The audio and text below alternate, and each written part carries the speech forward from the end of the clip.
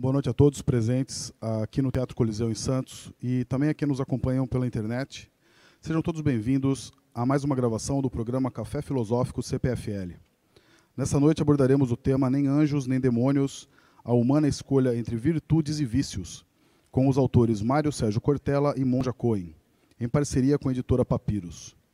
Lembramos que estamos em um set de gravação de um programa de TV por isso, nossos câmeras e equipe de produção poderão circular entre o público durante o encontro. Podemos, pedimos compreensão caso tenhamos que parar a gravação para adequações técnicas e que desliguem os celulares durante a gravação. Após a apresentação, nossos convidados responderão às questões do público. Nossas promotoras vão circular pelo teatro com papéis e canetas para o envio das perguntas. E ao final teremos a sessão de autógrafos. Iremos organizar uma fila para que todos sejam atendidos e os livros estão à venda no saguão de entrada do teatro. É, não está programado nenhum teste de emergência. Caso o alarme toque, pedimos a todos que se dirijam calmamente às saídas. E chamo ao palco agora Mário Mazili, diretor do Instituto CPFL, para apresentar nossos convidados da noite e um bom café filosófico a todos.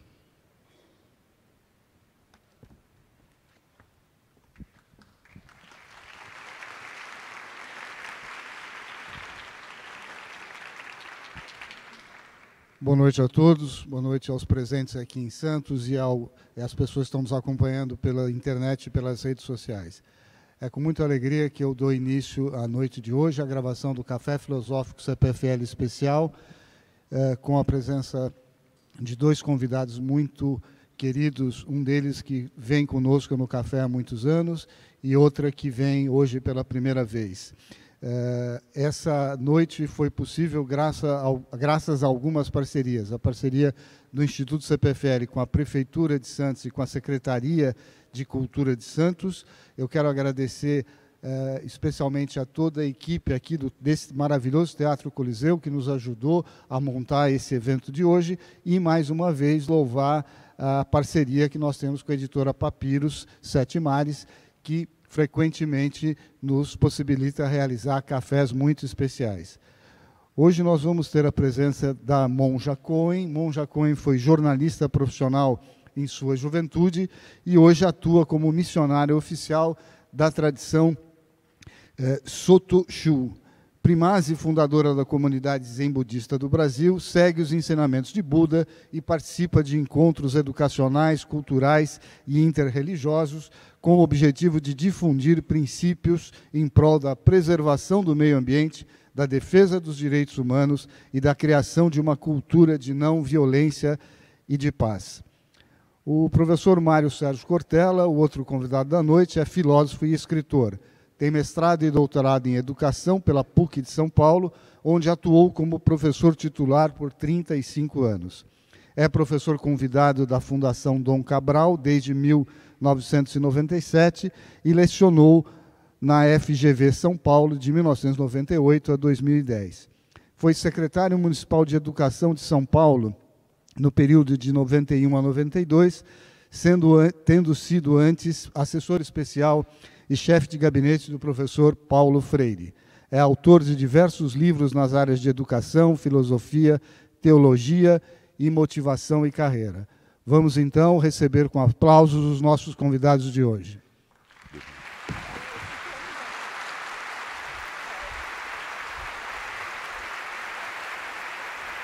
Muito bem.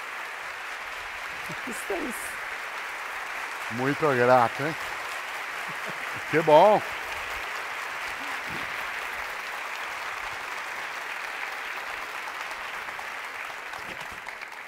Muito bem.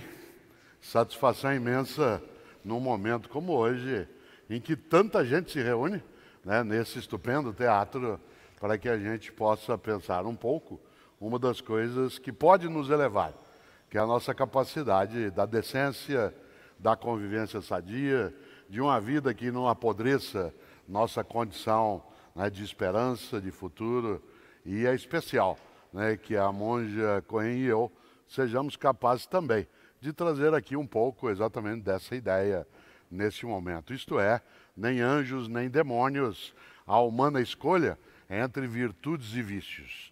É gostoso algo, e eu queria lembrar, eu sou paranaense, nasci em Londrina, mas eu moro no estado de São Paulo, mais propriamente na cidade de São Paulo, né, há 52 anos. E eu sempre quis saber, monge, né, qual era a razão do nome dos lugares onde eu ia viver. Sim. Por que Santos? Por que São Bernardo? Por que Santo André? Por que Campinas? Porque Londrina, minha cidade, que foi fundada por ingleses, razão pela qual se chama Londrina, porque ela era uma pequena Londres, né, havia uma companhia né, de colonização na época, nos anos 30, do norte do Paraná, que era uma companhia britânica. Né, e por isso fundaram ali várias cidades, entre elas Londrina, minha cidade especial, que tem uma capacidade grande até hoje né, de acolher. E é curioso porque uma das coisas que eu tentei entender quando cheguei na cidade de São Paulo, eu tinha 13 para 14 anos, era qual era a razão de São Paulo chamar São Paulo. Claro, parece óbvio, mas não necessariamente. E eu fui estudar isso e fui saber né, que a cidade de São Paulo foi fundada formalmente né, por dois religiosos jesuítas né, no dia 25 de janeiro de 1554. Claro que 25 de janeiro, na tradição cristã ocidental, portanto, com uma conexão muito sutil né, com o mundo budista, do ponto de vista de calendário nenhuma, né, mas no campo da religiosidade sim. 25 de janeiro, na crença dos cristãos, é o dia em que um judeu estudado, com formação, alguém que não fazia parte dos grupos menos escolarizados, naquele momento, no século I, né, no calendário comum, esse judeu chamado Saul, ele vinha de Damasco, né, na atual, aliás, ele vinha de Jerusalém, né, e ia para Damasco. No caminho de Damasco, da atual e sofrida Síria, ele, no caminho, ele que era um adversário dos cristãos, no relato feito, ele ouve uma voz retumbante que vem do céu e diz: Saul, Saul, por que me persegues? Diz a história que esse homem, na hora que ele foi ouvir aquilo, o cavalo assustou-se né, com aquele tipo de voz trovoante. O Deus ocidental, quando aparece, faz um ruído imenso, né? não é muito discreto, sempre é raio, trovão, vento, é uma coisa meio de espetáculo, né? e é uma coisa muito bonita, porque ela é marcada pelo terror. Né? E é o terror não no sentido de filme, mas de fazer com que você fique perplexo. E esse homem, Saul, o cavalo levanta e ele cai do cavalo. E ao cair do cavalo, ele morde o chão, morde a poeira. Aliás, tem gente que para aprender a ser humilde tem que cair do cavalo. Tem gente que para aprender algumas coisas tem que morder o pó. E ao se levantar, ele, dizem os cristãos, se converte né, que era a pregação humanista de Jesus de Nazaré. E para ele aprender a ser humilde, ele será chamado de Paulo. Paulos em latim significa pequeno. Como esse homem, Saul ou Saulo, depois chamado Paulo. Ele era baixo de estatura, na média, né? e ele tinha que aprender a ser humilde. Ele foi chamado de Paulo. Esse homem decidiu, a partir daí, escrever cartas às comunidades de pessoas que aderiam à mesma fé. Essas cartas, que os cristãos chamam também de epístolas, elas fazem parte dos cultos cristãos. Quem aqui já foi a um culto cristão de qualquer natureza, sabe que as cartas de Paulo, elas são prioridade, não são as únicas cartas. Todas as cartas de Paulo, a monja sabe disso, tratam do tema ética, isto é, como se afastar do maléfico e como acolher o benéfico. É curioso, porque ele fez carta à comunidade de Corinto, né, de Roma, de Tessalônia, de Filipe, de vários lugares. E Paulo tem duas cartas, todas elas sobre ética, isto é, como deixar o demoníaco fora e acolher aquilo que é, em princípio, marcado pela bondade. Ele tem duas cartas ao povo da cidade de Corinto. Eu gosto muito de uma frase que está na primeira, e é com essa que eu quero começar e passar a reflexão para que a monja também siga a partir de algo que eu gostaria de levantar. Na primeira carta de Paulo aos Coríntios, no capítulo 6, versículo 12, capítulo 6, versículo 12, esse homem, na crença dos cristãos, disse algo que tem muito a ver com a ideia de humana escolha entre virtudes e vícios. A frase é: Tudo me é lícito, mas nem tudo me convém. tudo me é lícito, mas nem tudo me convém. Isto é, eu posso fazer qualquer coisa, mas eu não devo fazer qualquer coisa. Eu posso, porque livre sou, mas não devo. Por que não devo? Porque não devo fazer nada que apodreça minha família, que degrade minha comunidade, que ofenda aquilo que é saudável. Tudo me é lícito, mas nem tudo me convém. E aí está a ideia de liberdade. Por isso, posso eu dizer para a monja Cohen, você é uma pessoa má. Na nossa compreensão e a partir dessa reflexão no livro, não. O que eu posso dizer a ela é: você está sendo má. Ah. Você está sendo boa. Por que dizer você é uma pessoa boa, você é uma pessoa má? como sendo um estado permanente, é não entender o lugar da nossa liberdade. Por isso, pergunto eu à monja Cohen, se é uma pessoa má.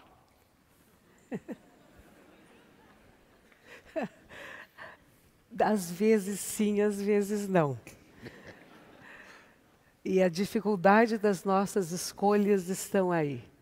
Porque carregamos em nós questões genéticas, mas é tão interessante porque quando falamos de genética, nós pensamos em algumas gerações de nomes e personagens que nós conhecemos ou que nos contaram essas histórias. Mas vamos lembrar, e eu gosto muito disto, há cinco mil anos atrás, seis mil anos atrás, onde estávamos nós? Nós já estávamos aqui. O nosso DNA já estava aí. Um fotógrafo inglês, há alguns anos, ele veio ao Brasil fotografar o DNA brasileiro. E ele fotografou pessoas de norte, sul, leste, oeste, das várias etnias que formam o povo do Brasil. Eu fui uma das pessoas fotografadas e cada um de nós ele tirava um pouco de DNA com um cotonete, mandou para os Estados Unidos para pesquisar e eu descobri que há 5, 6 mil anos atrás eu estava no norte da África, onde hoje é a Síria. A Síria que agora está em guerra. Eu pertenço a esse povo, meu DNA pertence a esse povo, como da maioria de todos que vieram para o Brasil via Europa. Nós estávamos lá. E de lá nós fomos para a Europa. E da Europa nos espalhamos em diferentes áreas 57% da Península Ibérica. Alguns ancestrais foram para a América do Norte, onde encontraram povos que vieram pelo Estreito de Bering, passaram porque tinha era possível caminhar por lá e teriam vindo da Ásia e vão formar os indígenas norte-americanos que vão descer e formar os indígenas sul-americanos. Tendo nascido na África, sou negra, sou muçulmana, sou árabe e sou judia. Ou seja, o DNA da humanidade permeia cada um de nós. E quando nós falamos de tendências genéticas, nós lembramos de algumas gerações mais próximas. Mas e lá atrás? O que, que você pode estar manifestando agora e que não é exatamente do seu avô, da sua avó, ou do bisavô ou da bisavó, mas desse ancestral lá atrás e que ainda vive em nós? e que ainda está lutando, e que ainda está brigando, está com medo, e que está querendo ter projeção, está querendo ser aceito.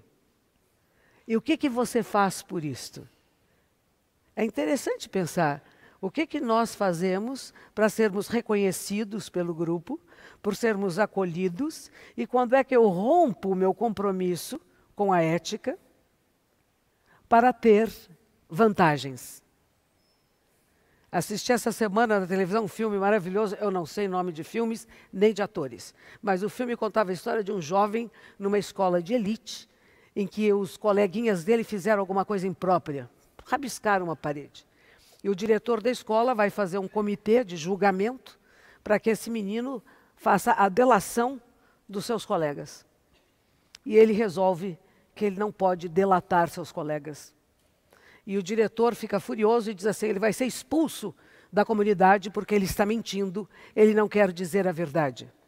E tem um personagem, claro, que é um grande ator, que se levanta para defendê-lo e diz: Isto é uma escola onde se formam líderes éticos, é uma escola que não pode ensinar as pessoas a ser delatores de seus amigos para ter vantagens pessoais.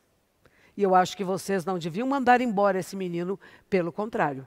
Vocês deviam fazer dele um modelo para todos os outros, porque se queremos uma sociedade ética, se queremos uma sociedade de lideranças éticas, a primeira coisa é saber que você não vai entregar os seus amigos e os seus colegas. Não é interessante isso? Você entregaria sua filha, seu marido, seu irmão, seu primo? Você entregaria alguém para você ter algumas vantagens pequenas, pessoais? Ou será que você pensa nesse bem coletivo? Se a escola já sabe quem são os responsáveis por ter pintado a parede, por que, que ela não fala diretamente com essas pessoas e quer que alguém vá dizer que eles fizeram? São coisas muito tênues que separam entre aquilo que eu considero princípios éticos, princípios de uma vida digna, onde você vê porque estamos conosco 24 horas por dia, 365 dias por ano. E o que você faz, o que você fala e o que você pensa, você sabe. Se você sabe, o mundo sabe. Então a minha reflexão um pouco é sobre isso. Nós fazemos escolhas. E quais são as nossas escolhas? São para vantagens pessoais, para eu ficar melhor na foto ou será que as nossas escolhas são para que seja o melhor para o maior número de pessoas? E isso inclui não só seres humanos, né? Nós estamos falando agora de Amazônia, falamos de incêndio, falamos de produtos que estão sob a terra e que o mundo inteiro cobiça. O que é melhor para todos nós? Somos limitados. Não somos capazes de ver tudo e decidir tudo, mas podemos, uma coisa, uma frase que aprendo com o professor Cortella é, é corrigindo os erros que se aprende. Não é errando que se aprende. Uma frase comum que repetimos sem prestar atenção. Erramos e podemos aprender a partir do erro, pelo menos a não repetir o mesmo erro. Vocês repetem o mesmo erro incessantemente? Ou se dão conta de que talvez eu tenha tido um pensamento pequeno, individualista, separado, que vantagem é boa para mim. E com isso eu percebi que a minha vida ficou menor, em vez de ficar maior. E que eu não fiquei mais feliz, eu não fiquei mais contente, não fiquei mais perto dos deuses, mas eu fiquei miudinho, apertadinho, limitado. E assim é interessante porque no meu escritório, em São Paulo, nós já estivemos juntos ali algumas vezes, mas numa das salas de entrada tem uma placa que vale demais. Está escrito nela: aqui só admitimos o erro inédito. Certo? Não é bom? Aqui só admitimos o erro inédito, isto é, aquele que acontece uma única vez. Isso. Porque na segunda vez, erro não será, mas idiotia ou má fé, uhum. ou escolha errada. Uhum. Quando eu pergunto à monja, você é uma pessoa má? E ela diz, às vezes sou, às vezes não. É um sinal de humanidade, não é um sinal de relatividade. Não é uma ideia de ficar lá e cá, mas são as possibilidades que temos. Afinal de contas, nós podemos sim ser angelicais e demoníacos. Eu tenho uma apreciação imensa né, pela filosofia alemã, a uhum. música alemã, eu tenho pela arte alemã. E eu sempre fico intrigado, mas não desesperado, só intrigado, monja, com uma questão. Como que um povo que gerou Immanuel Kant, Hegel, que gerou o pensamento de Edmundo Husserl, que gerou a religião a partir de Martinho Lutero, que trouxe Johann Sebastian Bach, Beethoven, Pachelbel. Como que um povo que fez o que há mais elevado na capacidade humana de produção gerou o horror nazista, o homicídio, a brutalidade. Porque a violência, e nós já falamos sobre isso, inclusive no livro, a violência faz parte da natureza até. Isto é, a ideia de você predar outro ser, a necessidade de alimentação, seja ela né, com o uso de proteína animal ou não, ela tem, na natureza em geral, uma marca de violência. Mas nós somos um ser capaz de algo que vai além da violência. Nós somos capazes de crueldade. Isto é, a violência absolutamente desnecessária. Diz mais Cortella, tem uma violência necessária de uma certa medida, se a gente observa no campo da nossa convivência, da alimentação, né, do tipo de roupa que usamos, o que faz os nossos sapatos, a exploração da cidade, do local, tudo isso tem né, uma marca de violência, mas a crueldade, ela vem. Aí eu volto, quando eu olho esse povo magnífico, né, que fez o que há de mais elevado em várias áreas da vida humana, que foi capaz de criar uma máquina homicida composta por pessoas como você e eu. Isto é, professores, médicos, engenheiros, padeiros, marceneiros. Interessante. Às vezes se diz que a primeira vítima do nazismo foi a Alemanha. Mas tem uma questão a ser feita, porque isso não é inverídico. A questão é qual escolha faria eu se lá estivesse em 1935? Uhum. Eu, Cortella, que agora não tem que fazer essa escolha, e espero não ter de fazê-la. Que escolha faria eu em 1935 quando chamado a ou você delata o teu vizinho, ou você adere a esta lógica autoritária, brutal de convivência, ou você perece. Eu quero lembrar, você sabe disso, muitos alemães perderam propriedade, perderam liberdade, perderam privilégio, perderam a vida, mas não perderam a alma. Uhum. E aqui eu quero usar um conceito, e aí dialogo também né, com a monja, como nós fizemos nessa reflexão. O próprio Jesus de Nazaré, que eu citei, ele dizia, numa das partes que é citada por um daqueles que relatou a história, que é Marcos, há uma frase ali que muita gente conhece. Tanto faz se você tem religião ou não. Religião é uma escolha tua ou minha, se tem ou não. Essa é uma questão de liberdade. Mas uma das frases mais fortes que está num dos textos dos cristãos, lá no Evangelho de Marcos, diz: De nada adianta um homem ganhar o mundo se ele perder sua alma. Olha que coisa funda. De nada adianta um homem ganhar o mundo se ele perder sua alma. E o que é perder a alma? É perder a tua capacidade humana de vitalidade. O budismo lida fortemente com a noção daquilo que é a ânima, né? a alma da vida, do mundo, da sintonia. Você utiliza sempre de maneira genial a respiração como sendo uma sintonia com a alma do mundo. Né? Aquela ideia que a gente, no campo da medicina, que é aqui é da área, chama de movimento sistólico e diastólico. Aliás, parece que a natureza tem uma preferência por isso, porque o nosso pulmão, ele sustenta a vida num movimento de expansão e contração. Nosso coração também é expansão e contração. Nosso sexo também é expansão e contração. Ah, e nesse sentido, também a ciência na física hoje especialmente na cosmologia, diz que o universo expande e retrai. Pode ser que budistas tenham tido uma noção mais densa sobre isso, mas na tua percepção, quando eu perguntei, você é massa? Disse às vezes sim, às vezes não. Nas vezes que boa não foi, tal como eu, não fui sempre, mesmo torcendo para os santos. Nas vezes que má foi, foi por quê? Pois é. Eu me lembro sempre de uma cena que eu tinha uns 7, 8 anos de idade, de uma grande maldade. Eu tinha gatinhos em casa, eu só tive cachorros na minha infância, e me deram gatinhos, eram recém-nascidos, e eu queria que o gatinho ficasse em pezinho assim num canto da sala, que nem cachorrinhos ficam. Vocês já fizeram o cachorrinho ficar em pé nas patinhas de trás? É fácil. Você põe ele num cantinho, você fala fica, geralmente eles ficam. E o gatinho não ficava. E conforme o gatinho não ficava, eu fui apertando, apertando o gatinho na parede, até que ele se sujou todinho e eu fiquei tão arrependida.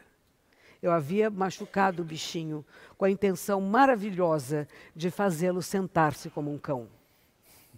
Eu acho que nós somos maus quando nós queremos fazer alguma coisa que seja inadequada para aquele ser naquele momento. Por que, que eu queria tanto, com sete anos de idade, mas pode ser em qualquer idade, porque para mim é inesquecível, de perceber que eu tinha feito um ser sofrer. Porque eu havia espremido ele tanto, porque ele precisava fazer o que eu queria que ele fizesse e não qual a sua necessidade verdadeira. Quando nós não somos capazes de sair do que o Freud, que também é alemão, iria chamar de ego, o meu eu separado, quando eu não saio do meu eu pequeno, da minha visão limitada da realidade, eu posso causar muito estrago ao mundo. Não que eu tenha a crueldade, eu vou machucar esse gato. Não era isso. Eu queria que ele fizesse uma coisa que era impossível, ainda bem um gatinho recém-nascido impossível fazê-lo. Então, queremos às vezes coisas impossíveis. Quando o professor Cortella fala da Alemanha, que acho isso tão importante, que é exemplo que às vezes eu digo às pessoas, que com boas intenções cometem-se crimes hediondos. O Holocausto começa com a ideia de alguém que lê um livro sobre qual é a perfeição humana como que os seres humanos podem ser perfeitos. Se eles tiverem determinada cor de pele, tal comportamento, não pode ter nenhuma deficiência, não pode haver homoafetividade, tudo isso é considerado crime. Então nós vamos ter que destruir esses seres. Porque pensamos no bem da humanidade. Não é terrível isso? Quando vamos dar um parâmetro do meu valor, da minha identidade, do meu olhar. E por que, que eu tenho tanto medo de um olhar diferente do meu? Porque pode destruir a personalidade que eu criei, a ideia que eu criei de mim mesmo e que é frágil. Então, aquele que é diferente de mim, ele me apavora, porque destrói uma estrutura muito frágil, como cartas de baralho, um castelinho, que qualquer vento derruba. Então, quem pensa diferente de mim, quem não concorda com aquilo que eu acho que é o certo, é meu inimigo e precisa ser destruído. O que acontece na Alemanha e o que acontece conosco, humanos, nesse sentido de querer pertencer, de não querer ser machucado, de não querer ser ferido. Eu estive uma vez na sinagoga aqui de São Paulo, na CIP, e era exatamente a comemoração do Holocausto. Aliás, as pessoas falavam: como é que se comemora? Comemorar significa lembrar-se juntos, não é fazer festa. Co é junto, memorar, a nossa memória comum que nós celebramos. E nesta época, um dos rabinos disse: pois até mesmo alguns judeus, quando iniciou o nazismo, apoiaram o nazismo porque acharam que não ia bater na sua porta. E é preciso muito cuidado com quaisquer pensamentos que sejam de destruição, de exclusão, porque bate na sua porta depois. E foi o que aconteceu. Bateu na porta de todos e de muita gente. E aqueles que não bateu na, bateram na porta foram aqueles que iam bater na porta dos outros. Há um grupo nos Estados Unidos, que todos os anos vai para Auschwitz. Eles ficam cinco dias em Auschwitz rezando pelos todos os mortos. Uh, zen budistas, protestantes, das várias tradições, católicos, uh, enfim, de todas as possibilidades religiosas e não religiosas. E muito interessante, uma senhora judia foi lá e os tios dela haviam morrido em Auschwitz. E quando os monges batiam tambores e rezavam-se Padre Nosso, Ave Maria. Ela foi ficando irritada, dizendo: que esse povo estranho está fazendo aqui? Meus tios morreram, eles eram judeus, e essa palhaçada toda que estão fazendo. Até que um pastor, depois de ter feito a sua prece, em lágrimas, ele disse: Aqui nós os crucificamos novamente. Aqui foi Jesus que novamente nós matamos. E ela ficou muito comovida, porque ela percebeu que a dor que existe do Holocausto não é do povo judeu, é de nós, humanidade. E isto é crueldade, como disse o professor. Não é só violência, é crueldade. quando você assiste alguns relatos sobre o que aconteceu, vê algumas fotografias do que aconteceu. É medonho o que nós humanos podemos fazer, como nós nos juntamos para fazer maldades. Um dia, na perto da Faculdade de Medicina de São Paulo, ali perto da Rua Teodoro Sampaio, de manhã cedo, tinham alguns jovens batendo no menino. O menino estava no chão. E eles vinham dar uns socos e pontapés no menino. Ele estava entregue no chão. Eu tinha os cachorros na minha mão, eu andava com os cachorros grandões, eu não podia chegar perto. Eu comecei a gritar para eles de longe, chamar a polícia. Alguém tem que parar isto. E quando eles me viram aos berros na rua, eu tinha quatro cachorros desse tamanho. Aí eles largaram o menino no chão. Falei: como que podemos fazer isso? O que, que há em nós humanos, esta sanha assassina que também existe em nós, que em grupo se modifica? Talvez sozinho ninguém fizesse isso. Mas quando estamos em grupo, queremos pertencer a. E por isso meu pai sempre me ensinava: não seja carneirinho de panujo. ah, coisa curiosa, eu tenho dois netos que são alemães. Olha. E quando a gente olha o século XX, essa mesma Alemanha que eu mencionava, ela é a nação europeia no século XXI hum. que mais acolhe humanos sofrendo, é. que vêm de outras regiões. Lembrando sempre que o refugiado nunca é um criminoso, ele é sempre uma vítima. Sempre uma vítima. Não há crime em ser um refugiado. Você é vítima de um processo, de uma brutalidade, de uma economia e hoje a Alemanha, ela é aquela nação que mais organizou a acolhida. A mesma nação que no século XX é danosa, no XXI ela reinventa algumas coisas sob a direção né, de uma mulher, coisa rara até naquela tradição. Por isso, um outro alemão, no tempo, inclusive, quando ele falece parte daquilo que é a Áustria, onde o Freud viveu, né, era a Alemanha ainda, era o mundo quase né, que a gente chamaria de prussiano, né, uhum. é um homem chamado Karl Marx, que nem sempre é apreciado e outras vezes o é, nem anjo nem demônio. Uhum.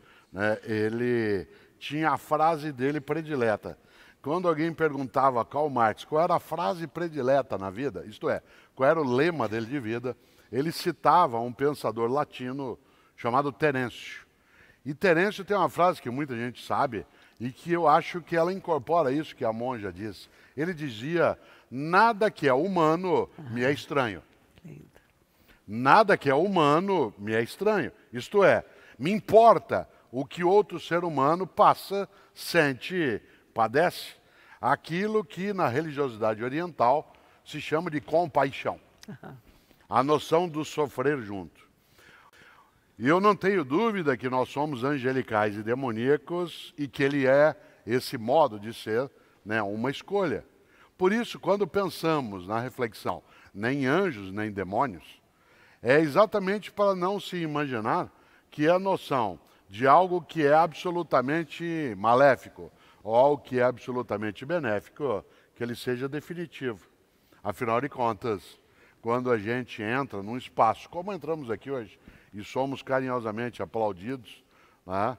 eu sempre imagino o quanto que essa apreciação ela precisa ter um componente crítico, uhum. não recusando o aplauso, ao contrário, se quiserem depois façam mais. né? Mas porque enquanto viva e vivo, nós podemos deslizar. Uhum. Machado de Assis, nosso maior escritor no português brasileiro, no meu entender, ele diz algo que vale. Ele dizia: está morto, podemos elogiá-lo à vontade. Porque qualquer um e qualquer uma de nós, enquanto vivo ou vivo estiver, pode decepcionar outras pessoas, uhum. pode fazer o que não deve. Só o cadáver é incapaz do que não deve ou do que deve, porque não é mais livre. E é interessante, porque a palavra vício, vocês sabem, ela significa ausência, falta. E a palavra virtude, por estranho que pareça, tem a ver com o mundo masculino. Porque a palavra virtude ela tem né, um radical que é vir, vir de viril. Porque se entendia que uma pessoa virtuosa não era uma pessoa virtuosa, era um homem no sentido aí de masculino. Um homem é aquele que teria a virtude da coragem, da generosidade, da justiça. E mulheres seriam colocadas nessa tradição histórica, né, num papel secundário. Evidentemente que a noção de virtude e vício, depois ela veio ganhando né, um patamar que fosse aí muito mais elevado. E é interessante quando a monja conta a história do gatinho em pé, né, no canto da parede, porque nem sempre a gente relata nossos desvios. Quase sempre a gente cala né, em relação a eles. Uma das coisas que mais me irrita, monge, é quando você está conversando com alguém e até pode ser uma entrevista, até de trabalho, você fala assim, e o que, que você tem de virtude? Quais são as suas virtudes boas? Ah, eu sou amigável, eu gosto de conviver, eu sou criativo. Aí você fala assim, qual é o teu defeito, o teu vício? Ah, eu sou perfeccionista. que é uma forma hipócrita uhum. de dizer que não tem vício nenhum. Uhum. Porque uma pessoa perfeccionista não pode ser considerada é, viciosa. Afinal, ela está buscando algo que é a mais alta elevação de uma possibilidade. Toda pessoa que acha que não tem vício algum, diz de si mesma ou de si mesmo que é perfeccionista. é interessante, porque nem anjos nem demônios, a própria palavra anjo, né, ela ganhou, em relação à ideia de demônio, uma concepção judaico-cristã e depois islâmica, né, que é a ideia de que o demônio, o diabólico, é o anjo decaído. Uhum. Lúcifer, aquele que carregava a luz, é o anjo decaído. Portanto, ele anjo era e deixou de sê-lo. Há uma diferença nessa concepção e aquilo que a gente está levantando aqui. Porque Lúcifer, anjo era, demônio se tornou, e demônio será pela eternidade. Hum. E nós achamos que não, que você pode desdemonizar. Isto é, como você pode demonizar-se. Ah. A ideia de karma, hum. dentro do budismo, ela é a noção de fatalidade ou ela é a ideia de escolha? Você Não. que é alguém que fala, escreve sobre karma. Então, karma, karma, a palavra em si, quer dizer alguma coisa que deixa marcas. Ele não é nem benéfico nem maléfico, ele pode ser neutro, mas ele pode ser ou angelical ou demonical. Vamos pensar no demônio um pouquinho, como a palavra diabo vem, que vem de dualidade, daquilo que é dois, aquilo que divide, que separa falamos do mundo polarizado, é o mundo diabólico, é o mundo que está dividido, separado. Alguns de nós conseguem perceber que, mesmo nisto, existe uma unidade. E essa percepção deste uno seria o que a gente vai falar do olhar angelical, do olhar da deidade, que é diferente do olhar daquele que divide, que separa. Outra coisa interessante é a, a, ideia do karma é que ele não é fixo nem permanente. Então ele não é uma fatalidade. Muitas pessoas dizem você está tendo essa doença porque é seu karma. Sim, tudo que possa acontecer com você é karma. E se eu disser que tudo que acontece é karma, então o karma não existe. Mas algumas coisas pontuais podem ser, porque podemos ter vícios ou ausência de sabedoria, ausência de humildade, ausência da percepção clara do que é a realidade. E quando não vemos com clareza, quando não compreendemos em profundidade, podemos criar hábitos que não são benéficos, tanto para você como para o mundo à sua volta. Há casais que se ofendem constantemente e se acostumam tanto com isso que acham que é natural. E de repente, quando chega uma visita em casa, a visita se surpreende da grosseria com que falam um com o outro, mas estão tão acostumados que não percebem mais que é grosseiro. Isso é criar um karma. Criamos um karma de um relacionamento que não é benéfico nem saudável, porque nenhum dos dois fica feliz, mas se acomodam em alguma coisa que é conhecida. E isso é outro perigo. Porque uma das desculpas de dar é meu karma. Estou tendo isso porque é o karma da minha vida que as coisas sejam difíceis para mim. Você se fechou num quadradinho. Você diz, não tem jeito. Não, o karma, ele é movimento e transformação. Nós podemos mudar. No Zen budismo, no budismo em geral, não tem inferno eterno, nem céu eterno. Você pode passar um tempo nos infernos, sim, de acordo com o karma prejudicial que você criou. Aliás, conta uma história que eu gosto, eu gosto muito, um homem que era extremamente perverso. Era um homem, não era uma mulher a história. e ele Essa história é feminina. Era, ele matava tudo que encontrava. Mas era cruel, matava, puxava a asinha dos bichinhos, todas as malvadezas, desde os menorzinhos aos maiores. Um dia está andando na rua, uma aranhazinha está andando, ele resolve não pisar na aranha. Ele morreu, segundo a lei do karma, vai para o inferno. Tem inferno frio, inferno quente, é uma variedade.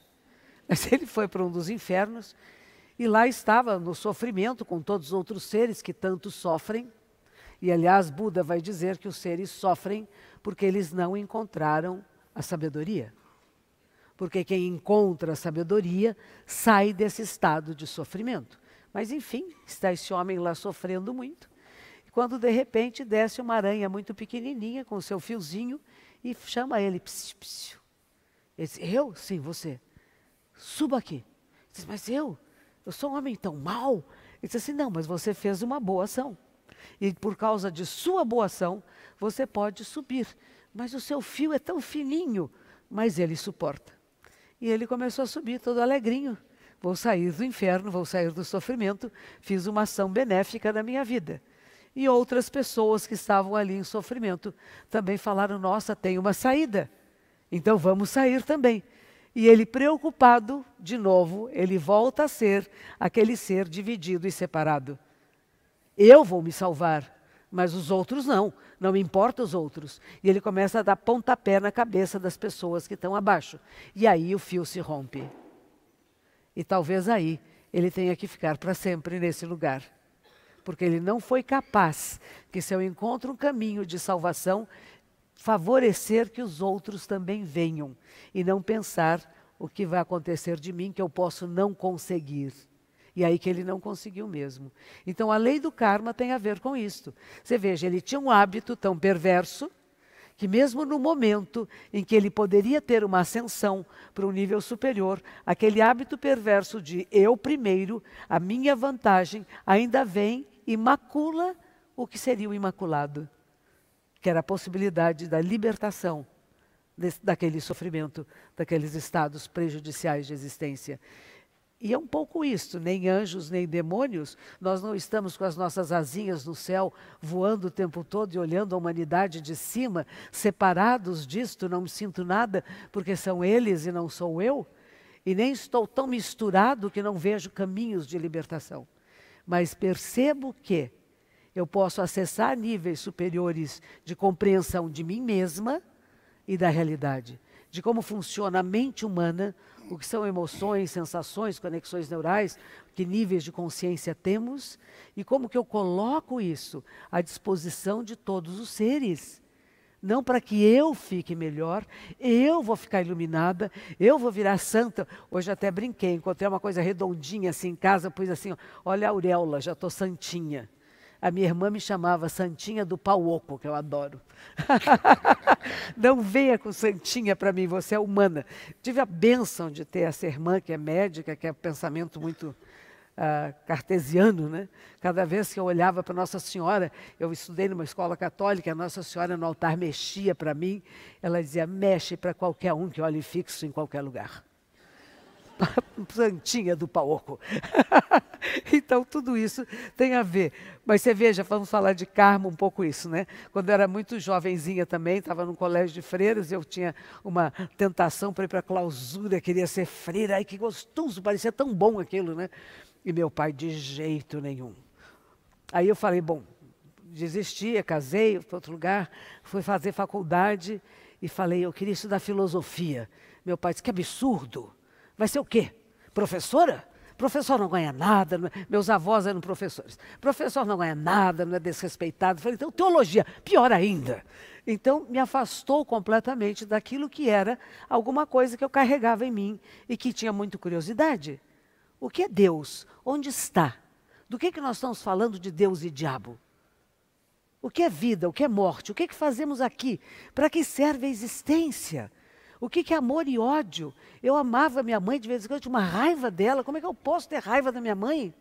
Eu sou uma pessoa doente? O que é isto? E essas questões pulavam em mim com muita força. Mas não, não podia ir nesse caminho. A vida deu tantas voltas que eu me tornei uma monja budista.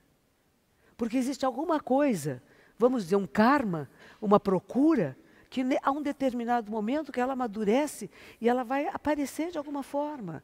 E ninguém pode tampar, não dá para cobrir. Parece que sim, né? Encobriu, segurou, não vai por aí, mas era por aí que eu queria ir, que eu precisava ir. Então nós criamos karma também. Mesmo que as circunstâncias não sejam favoráveis, porque karma, para que alguma coisa surja, tem que ter causas, condições para que haja um efeito. O que é causa de uma coisa é condição de outra e efeito de uma terceira. E não é só linear. Isto é um processo que diz tudo que existe é o co-surgir interdependente e simultâneo. Nada sozinho aparece. Está interrelação a tudo e a todos.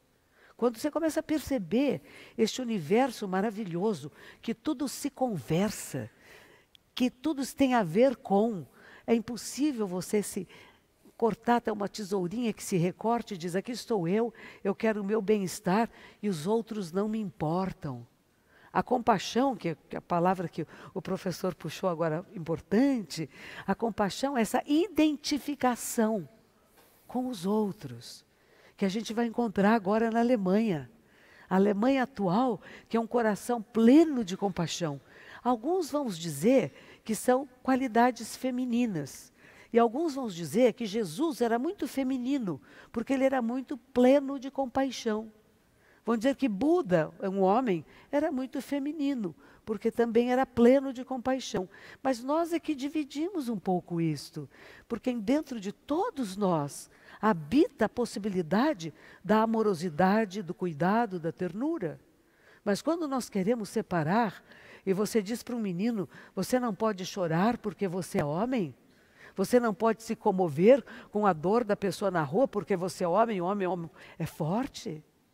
Nós temos os paramitas, e um dos nossos paramitas tem a mesma origem de viril, que chama-se viria. E viria significa o que? Resiliência. A sua capacidade de suportar o insuportável e não desistir de seus propósitos. É um dos das nossas virtudes a serem desenvolvidas. Quantas mulheres têm viria? Capacidade de resiliência. Que eu falo, cai sete vezes, levanta oito. Não deu ainda, tenta outra vez. Não deu ainda, tenta outra vez. Uma hora vai dar certo.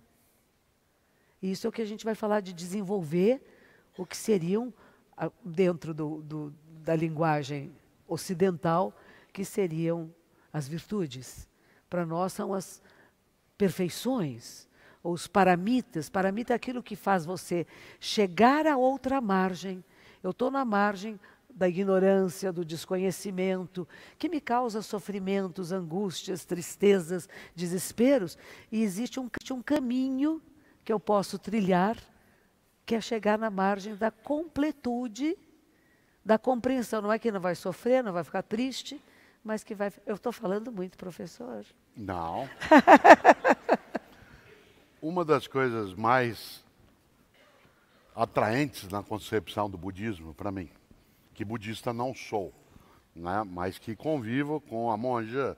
Esse ano faz 25 anos, um quarto de século que nós participamos juntos no primeiro evento.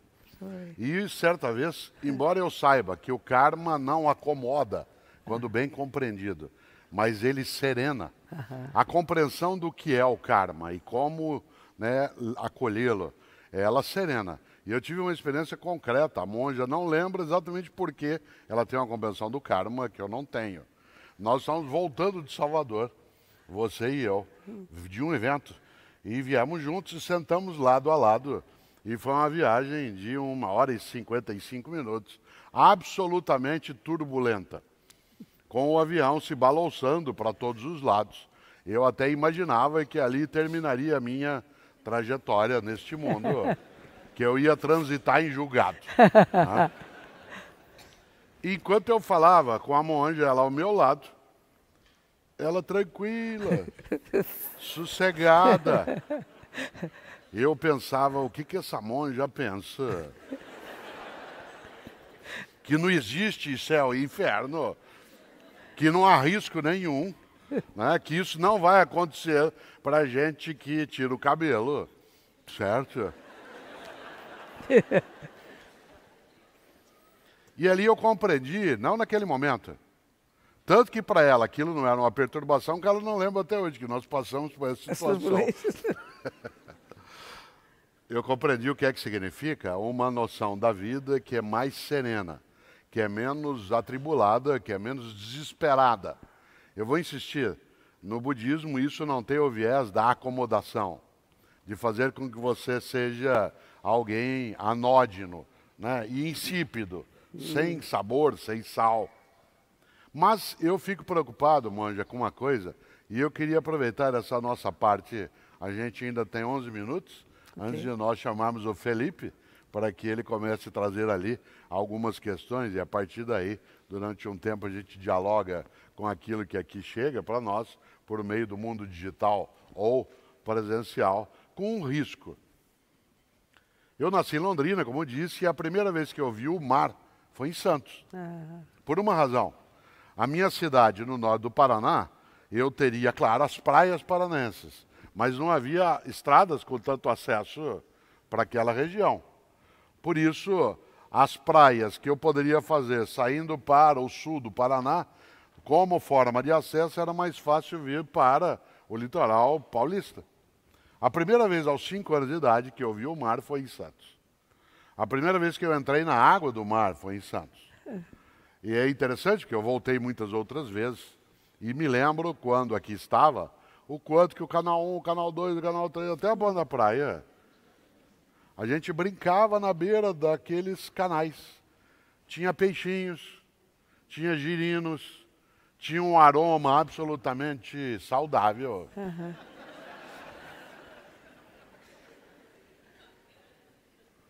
esses canais apodreceram. Uhum. A beira do mar apodreceu. Agora o pior, a gente se acostuma com o podre. Uhum. A gente se habitua com o podre. Eu moro em São Paulo, como disse. A cidade tem muitos rios, mas tem dois principais, o Tietê e o Pinheiros. Esses dois rios, há menos de 50 anos, eram navegáveis. Você se lembra, porque nasceu em São Paulo. Eu, aos domingos, ia com meu pai e minha mãe até o Rio Tietê para nadar. Vários clubes de regata se montaram à beira né, do Rio Tietê. Tietê. Vários clubes, entre eles o time de futebol, o Corinthians, que nasceu como time de remo é e de barco, a razão pela qual o símbolo do time é um timão. Obviamente que não é um timão por causa da equipe de futebol, né? mas por causa do barco. Uhum. Agora eu vou te contar uma coisa que você sabe, porque nós vivemos na mesma cidade, aliás, vizinhos. Nós matamos esses dois rios. Eles fedem, estão podres, fétidos, e a gente se habitua. Uhum. Aliás, a gente tem saudade. Você vai chegando em São Paulo e você passa ao lado do Rio Pinheiros, vem aquele fedor, diz, ai que bom, já estou chegando. é isso mesmo. Você está vindo pela Castelo Branco, está vindo pela Ayrton Senna, você passa ao lado da Marginal, Tietê, aquela coisa pútrida, você diz, ai, já estou perto. Você desce no Rio de Janeiro, na Ilha do Governador, onde fica o aeroporto Tom Jubim, aquele mangue nojento. Quando abre a porta do avião que vem aquele fedor, diz, ai, que bom, estou em casa. É. A gente se habitua com o podre. Mas a gente também é capaz de recusar o podre. É capaz de afastá-lo. A mesma humanidade que assassina dois rios, que pega os canais e os torna podres, pode recuperá-los. Pode fazer com que ele seja de outro modo, pode fazer com que a gente, no começo, ache só que nós estamos cuidando de tartaruga marinha, mas de repente, o piche, o óleo, seja o nome que tem, ele começa pelas tartarugas, mas ele não termina por elas. É. E a natureza, a monja aqui lembrava na nossa evolução, ela tem uma marca muito forte. A palavra evolução não significa melhoria. A palavra evolução significa mudança. Evoluir não significa melhorar. Também se evolui para o desastre. Uhum. Câncer também evolui. Uhum. Problema também se desenvolve. E encrenca também progride. Uhum. Por isso, a noção de evolução como positividade é um desconhecimento do papel das nossas escolhas. Isto é, o quanto que é necessário que a gente seja capaz de fazer boas escolhas. Ou seja, de sermos virtuosos. Para isso precisa, e eu já aprendi isso várias vezes com a monja, de humildade, de inteligência, de sintonia, de humanidade. E precisa de algo especial, que é esperança. Esperança, mas a esperança ativa. Uhum. A esperança ativa, a monja sabe, é aquela que recusa a expressão que eu vou dizer agora.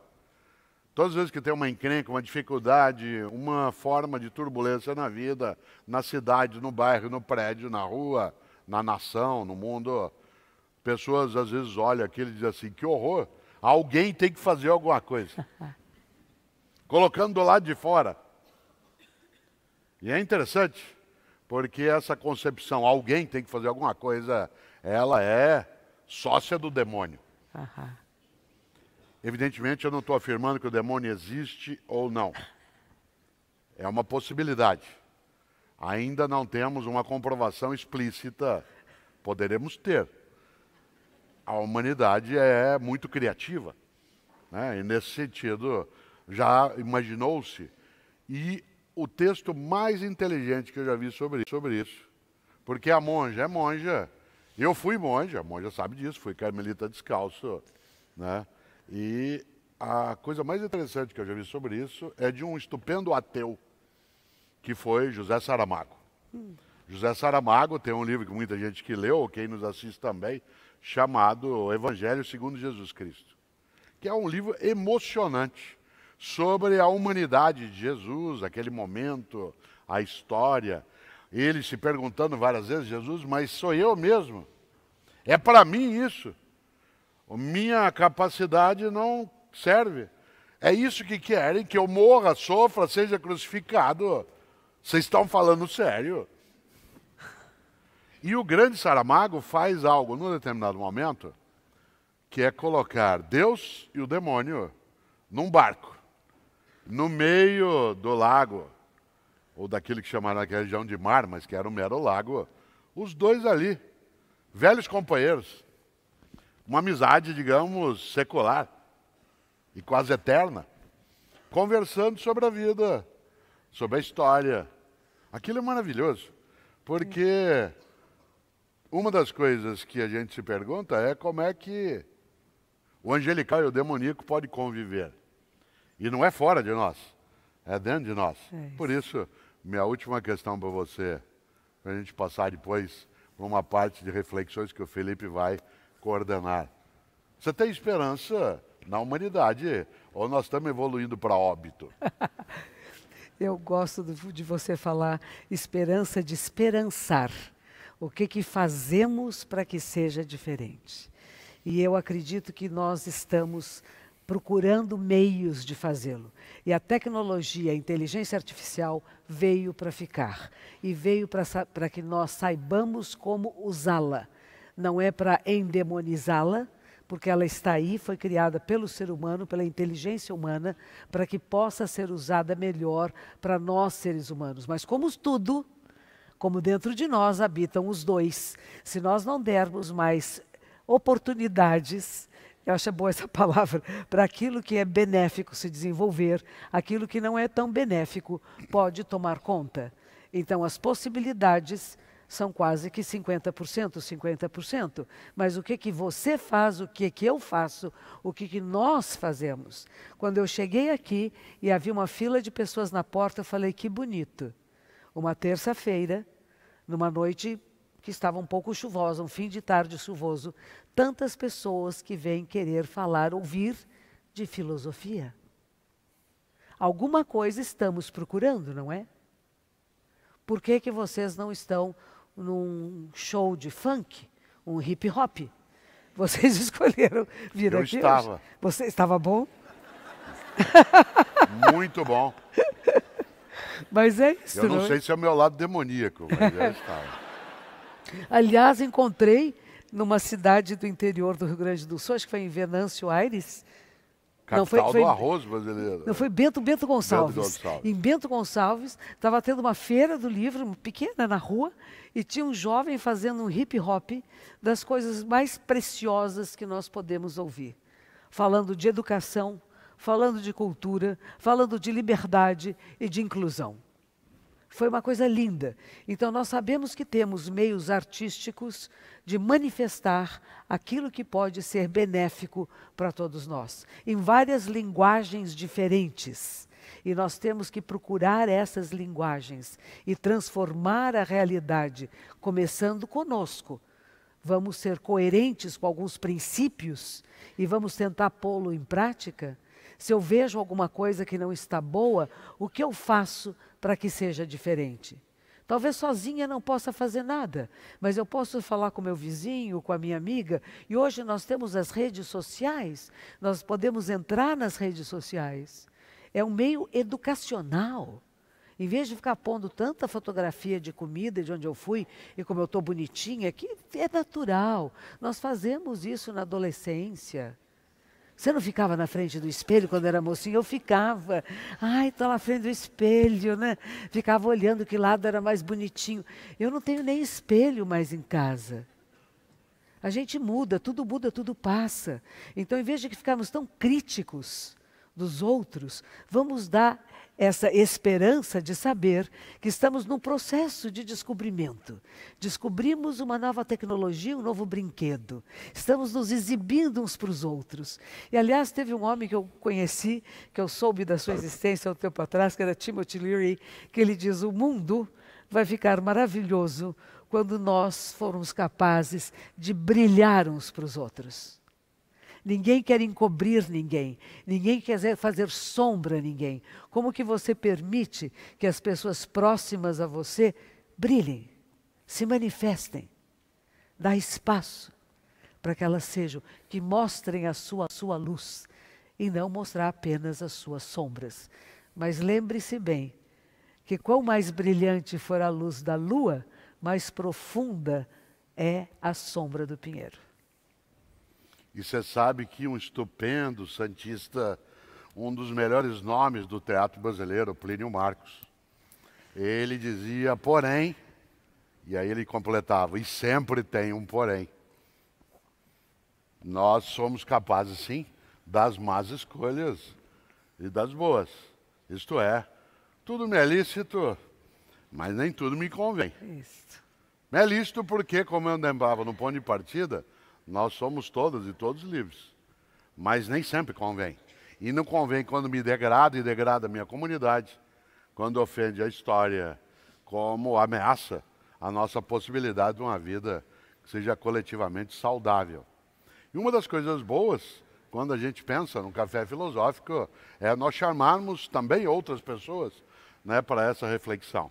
E é o que a gente vai fazer agora com o Felipe, né, que coordena aqui a nossa conversa até às 20 horas e 45 minutos.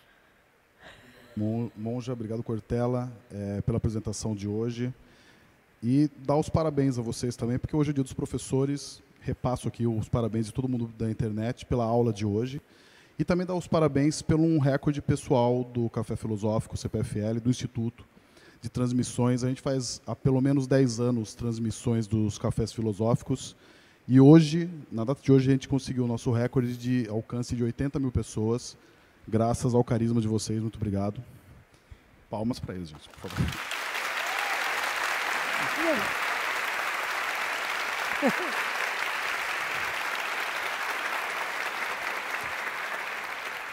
Há, há um demônio abaixando tua voz para nós dois. Sério. É leve-a, por favor. Vou falar mais Senão alto, você vai então. fazer uma pergunta e Tá nós bom. vamos ficar com, com cara de karma. Antes da pergunta, só vou fazer é, avisar que a gente está transmitindo essa apresentação de hoje no Facebook, no nosso YouTube, também no nosso site. Convido todos vocês a nos seguirem, tanto o Café Filosófico CPFL, quanto o Instituto CPFL, tanto no YouTube quanto também no Facebook e também acessarem o nosso site. E vamos para as perguntas, finalmente, para a gente começar o debate. É, a pergunta do Francisco Alencar é assim: como a espiritualidade e a filosofia respondem aos desafios dos novos tempos de crise política, ambiental, ética e educacional brasileira? A espiritualidade, como que ela lida para a gente enfrentar, né, o nosso cotidiano? É, é, a espiritualidade sempre esteve presente, não é uma questão da época atual. Em todas as épocas tivemos questões ambientais, guerras por águas, fizemos tantas coisas como humanidade e a espiritualidade sempre caminha junto, dizendo: existe um outro olhar, existe um olhar maior, um olhar que não é só o que é meu e o que eu pego e o que eu ganho, mas um olhar que você sai de si mesmo e aí vem Paulo também dizendo: não sou eu que falo, é ele que fala através de mim. Quer dizer, quem é este que pode falar através de você? Para nós, dentro do budismo, a palavra que nós usamos, representando a grande sabedoria, a grande compaixão, a grande capacidade de uma visão mais ampla de tudo, nós vamos falar que se chama Buda. Buda quer dizer aquele que acorda, que desperta, que não vive sonâmbulo, que não vive zumbi, entre vida e morte, assim, que não sabe o que está fazendo, não sente mais odores, não enxerga direito, não ouve, não percebe a realidade. Porque não é questão da visão física, é a visão da percepção do que está acontecendo e como que eu posso atuar. Eu não conheci Paulo Freire, eu tenho uma aluna que foi aluna dele, e uma das coisas que eu mais... Eu fui você também, é? doutorado é? dele. Então, uma das coisas maravilhosas que ele dizia, educar é fazer as pessoas aprender a ler a realidade. Leia o que está acontecendo. O que está acontecendo agora no mundo, o que está acontecendo no, no nosso país, o que, que é um reflexo do mundo, não é separado, o que está acontecendo no nosso estado, o que está acontecendo, se estamos aqui em Santos agora, na cidade de Santos, e vocês que estão nos ouvindo, seja em que parte do mundo estejam, o que está acontecendo à sua volta, o que está acontecendo nos lugares mais próximos de você, que é um reflexo desse todo. E se você acha que não está bom, o que você faz para ser melhor? Como você começa? Por onde começa? Como é que está você, o seu corpo, o seu sistema? Ele está funcionando bem? Você está brigando internamente com a realidade? Ou você é capaz de perceber que esta realidade é um processo em transformação contínuo e que você é aquele ser que interfere sim? Recentemente ouvi um senhor francês que esteve aqui no Brasil falando e ele dizia que a diferença entre um sistema totalitário e um sistema democrático é que na democracia nós ajudamos os mais fracos, os mais necessitados. E um sistema que não é democrático vai dizer a natureza dá um jeito. E os fracos vão desaparecer porque não vão ser capazes de sobreviver sozinhos. Mas se você olhar em profundidade, até na própria natureza, e quantos exemplos me mandam, pelo menos, no WhatsApp, nas redes sociais, de um bichinho ajudando o outro, bichinhos de espécies diferentes, como uma leoa amamentando um macaco. Quantas coisas maravilhosas existem quando a gente acolhe e é capaz de transformar a realidade e transformar até aquilo que disseram para você que você é e você sair do quadradinho e dar o salto quântico de dizer, mas eu posso ser diferente. Embora todas as, os vetores venham dizer, você nasceu desta família, você nasceu neste lugar, você só pode se manifestar deste jeito, porque esta é a maneira de pensar. E você até um certo momento pensou e agiu assim. E de repente você pode dar um salto quântico uns 5% de livre-arbítrio. E você sai desse padrão e você olha a realidade como se fosse a primeira vez. E você descobre o mundo como se fosse a primeira vez. Não com o olhar marcado daquilo que disseram que é como você deve ver a realidade, mas realmente encontrá-la à sua frente. E aí você vai encontrar na própria questão, na própria dificuldade, a equação para resolver o problema, mas é preciso saber ler o problema, ver o problema, entender qual é a questão. Muito geral não dá certo, tem que ser mais específico e comece a mexer, porque aquilo que você mexe, mexe no todo. Cada um de nós é o todo manifesto. Isso eu insisto muito. Nós não somos parte de alguma coisa.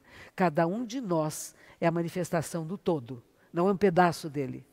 Quando você percebe isso, você sabe que aquilo que você faz, fala e pensa está mexendo na trama da existência, mesmo que sejamos essa poeirinha cósmica que não vale nada, que é um gãozinho de poeira da humildade de humus terra Somos pó e ao pó voltaremos, pedacinhos de pó, mas esse pedacinho de pó faz a diferença.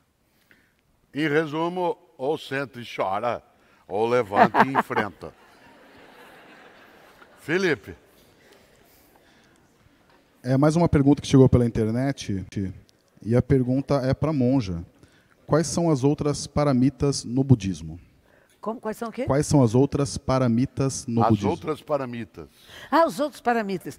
Primeiro paramita chama-se dana, que é doação, caridade, Obrigado. entrega, doar-se, entregar-se. Há um monge vietnamita que está quase morrendo lá no Vietnã, fez 93 anos agora, o Thich Nhat Hanh, em que ele diz, o maior presente que você dá a alguém é a sua presença. Estar inteiramente presente não é pela metade. Então, dana é a primeira. Compaixão, não, é doação. Doar-se, entregar-se, não é só doar comida, alimento, isso também é bom, mas a doação da sabedoria para nós e para a minha linhagem é considerada a doação mais elevada. Como fazer com que nós, humanos, podemos ser livres de pensar e de escolher o que é cabível naquele momento fazer ou não. Então, doação é o primeiro. O segundo é vida ética preceitos, nós seguimos algumas regras. Uh, não fazer o mal, fazer o bem e fazer o bem ao maior número de seres. Não matar, não roubar, não abusar da sexualidade, não mentir, não negociar drogas, não falar dos erros e faltas alheios, não se elevar e rebaixar os outros, não se rebaixar e elevar os outros, não se igualar, cada um de nós é único, não ser movido pela ganância, não ser controlado pela raiva, não é não sentir raiva, mas não ser controlado pela raiva, que não sabe o que faz, né? E não Des, des, des, não desrespeitar o que a gente chama de Buda, Dharma e Sangha, o ser iluminado, aquele que acorda, que desperta, o sábio, a, o Dharma, a verdade, a lei verdadeira, e a Sangha, as pessoas, a comunidade que vive em harmonia. Então, esses são o segundo paramita, que é Sila, que é que é ética. O terceiro é Kisante, paciência. É difícil este, né? Meu professor olhava para mim o tempo todo, um monge professor, e dizia: Be patient, seja paciente, seja. Porque eu sou um pouco um paciente dentro dos meus vícios, a impaciência. então, seja paciente. A paciência é alguma coisa a ser cultivada. Você esperar, você faz, mas tem que ter paciência de, de esperar. Eu planto uma flor, ela começa a crescer, eu quero que ela cresça, né? Eu mato aquilo e não deixo que ela cresça. Eu crio causas e condições e espero que ela vá florescer, dar causas e condições para que um pensamento, uma ideia, uma sociedade, uma maneira de ser no mundo possa ser desenvolvida. A paciência. Outra é viria, que é a questão da virilidade, a mesma palavra que vem do sânscrito e que tem mais a ver com resiliência, com o esforço correto de você esforçar-se para alguma coisa, não só deixar acontecer, que não é bem isto. E aí vem o que nós chamamos de dhyana, de onde vem a palavra zen, que é meditar. A minha escola e a minha prática tem a base da meditação. A meditação é ficar em silêncio. É ouvir a si mesmo, a ouvir todo esse tumulto interno que habita em nós. Todas as vozes do passado e do futuro que se manifestam nesse presente. Não só de parentes e amigos, mas de toda a humanidade que está em cada um de nós. Então, meditar não, não é só ficar sentado e dizer eu vou ficar me sentindo bem e eu vou descansar. É encontrar deuses e demônios. É encontrar a luz e a sombra e perceber que você é tudo isto, mas que faz escolhas. Por isso que a última, que não é a última, mas é um, isso é um círculo, não tem nem primeiro nem segundo, é a sabedoria.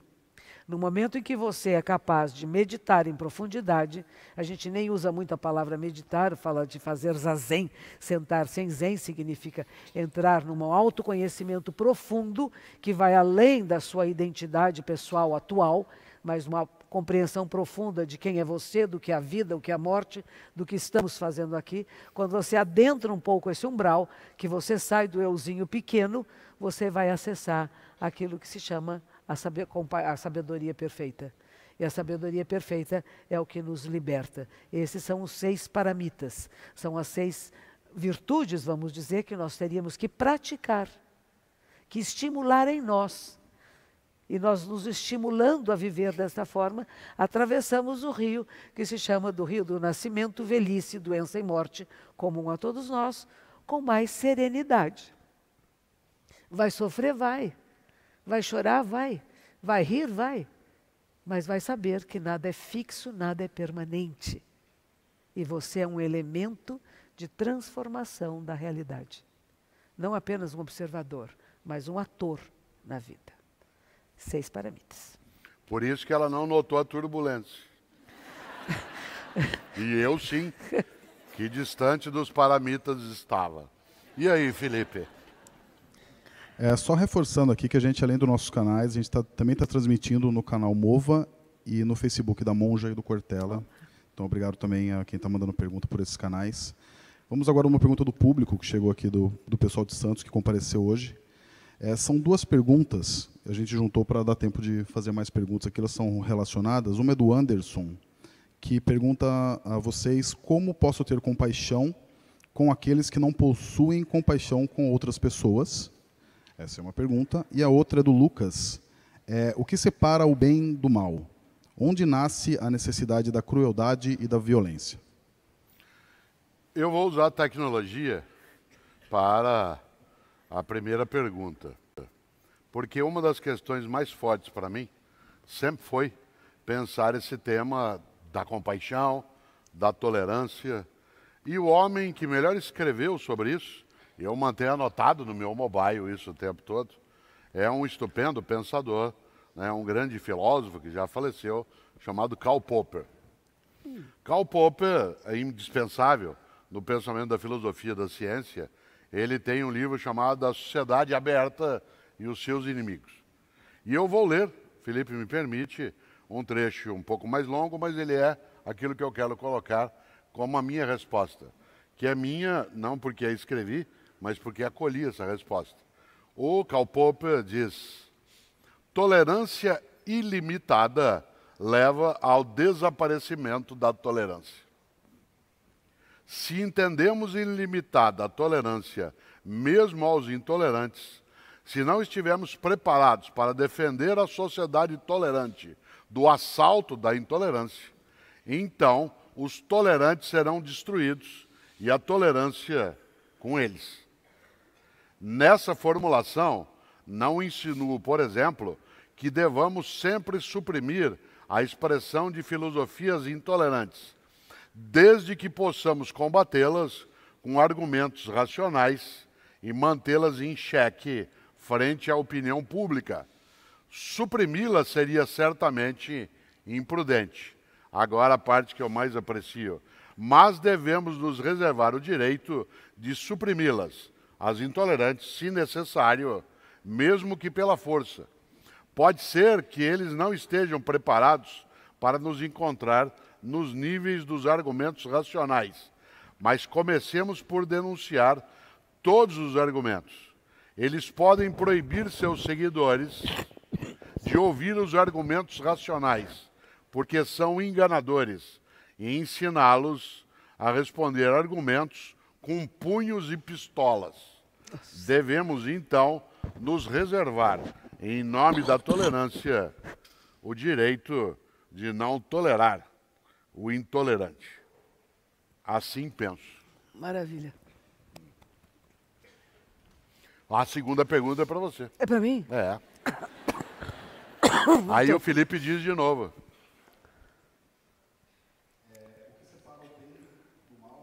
nasce a necessidade da crueldade e da violência? Onde nasce a crueldade e a violência? Nossa. Não sei. Na verdade, não sei, não pensei muito nisso. Onde nasce a crueldade e a violência? Da ação, no gesto, na palavra, no pensamento, na atitude inadequada, na falta da sensibilidade e percepção do que está acontecendo. O que, que vocês acham? Você Tem- sabe que Agostinho, Ah, enquanto você toma um golezinho d'água, Agostinho, o principal pensador da teologia cristã, no início do mundo medieval, na patrística, né, ele tem um argumento magnífico, monja que você sabe que estudou coisas nessa área. Agostinho tinha uma questão muito séria. A crença cristã é de um Deus de bondade e um Deus criador. Agostinho tinha uma encrenca teológica. Se Deus tudo sabe, tudo pode e está em todas as partes, e se eu, Cortella, for um dia para o inferno, e Deus sabia disso desde a eternidade, por que, que ele me criou? Se o meu destino é a danação. aham.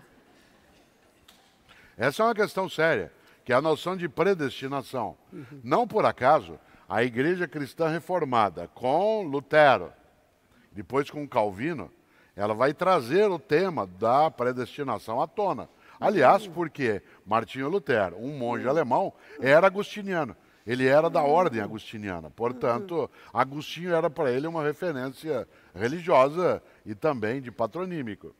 E Agostinho tem uma grande encrenca que vale nessa questão que o Felipe levantou aqui, trazida né, por pessoas. Ele levantava uma questão: se Deus tudo criou, por que criou o mal? E ele dá uma resposta que até hoje na teologia cristã ela vem à tona e alguns filósofos também a absorveram. Ele diz: a divindade de bondade não criou o mal, ela criou um mundo de bondade. O mal não existe. O mal é a privação do bem. Isto é, o mal em si, como entidade, não existe. O mal só vem à tona quando nós fazemos com que o bem se ausente. A noção de vício, como a gente lembrou, é a ideia de falta. O vício é a falta da virtude. Portanto, só existe a virtude. Aham. O vício é quando a virtude se ausenta. E isso, diria Agostinho, é uma escolha nossa. Porque ele introduz um conceito que toda teologia e filosofia ocidental trarão, mas que os budistas já tinham mil anos antes de Agostinho, que é a noção de livre-arbítrio. Isto é, Deus, a divindade, a força do bem, ele não cria a maldade, nem a crueldade. Ela é escolha, porque nós somos livres. E somos livres, inclusive, para fazer o que a gente não deve. Aham. Por isso, você não sabe de onde vem o mal, nem eu. Mas a teoria de Agostinho É ajuda bastante. No budismo vai se falar de ganância, raiva, ignorância, que seriam venenos que podem envenenar um ser humano, né? De querer, ganância, a raiva, tudo isso tem a ver com o que a gente fala separação. E a ignorância é a mesma coisa, é a separação, a ausência de estar em contato com o que a gente seria as virtudes, com uma vida mais plena, a ausência de estar em contato com o bem, a ausência de não estar, o bem não estar manifesto. Então, quando alguém faz alguma coisa que você acha imprópria, você não pode desenvolver ódio desta pessoa, nem raiva, nem querer o seu extermínio, mas a ação não deve ser repetida e deve ser, como você bem falou e o seu amigo falou, denunciada. Deve ser posta a, a claro e não escondida, porque não vou falar coisas que possam ser intolerantes em relação àqueles que são intolerantes. Felipe, você sabe que Agostinho tem uma frase maravilhosa. Eu recomendo a leitura de uma obra dele para qualquer pessoa, seja alguém que tenha religião ou não, porque Agostinho foi um homem que aos 14 anos já era pai, que vivia naquilo que de maneira absolutamente amorosa a gente chama de esbórnia, né? Ele estava dedicado ao jogo, ao vício, a tudo. E, de, depois ele deu um salto, uhum. né, paramitou-se né, para um lugar mais elevado e aderiu a uma outra crença. E ele conta a sua história numa obra clássica da filosofia chamada Confissões, uhum. que é a biografia dele mesmo. Uhum. Ele viveu bastante, Agostinho. Então ele conta toda a trajetória de alguém que nasceu como você, nos seus antepassados no norte da África, uhum. né, e depois vai viver na Europa. E Agostinho tem uma passagem em que ele, já tomado pela fé cristã, ele ajoelha e diz: Senhor, fazei-me casto, mas não agora. e essa frase é do Agostinho, está no Confissões. Então, de vez em quando, a gente pode se apoiar na teologia agostiniana uhum. né? e lembrar, fazer nos castos, mas não necessariamente agora. E aí, Felipe? É, uma pergunta da internet, da Camila. Ela pergunta se o ser humano usa o vício para não aceitar o possível vazio da própria existência. Fica bom? A ideia de vazio? O vazio da existência? Então o vício vai suprir o vazio da existência? Quer dizer, o vazio da existência é o vazio da compreensão, da sabedoria, do bem-estar, da plenitude com a sua própria vida, de apreciação da existência.